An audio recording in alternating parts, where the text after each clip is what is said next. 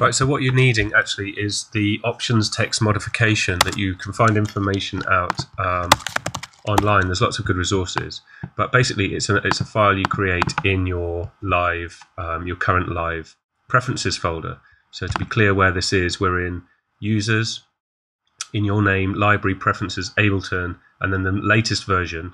And then you need to create this text file. Use that, do that using TextEdit. And in here are some of the common um, parameters that people put in here that change the uh, the the um, the function the functionality of live. Right.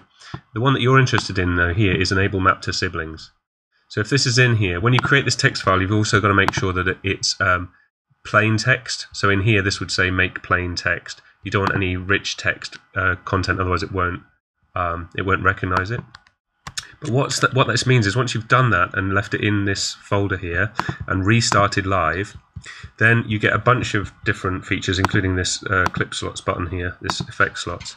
But most importantly is that when you've got a drum rack, um, any drum rack like this, then basically you've got all these different um, you can map your first simpler basically. You can map your first um, say map to decay. And then what I can do is right click and I can map to all siblings. So then every um, simpler in this rack will have this that same parameter mapped to the same macro with one click. Um, so that's what you need to be able to do what you're trying to do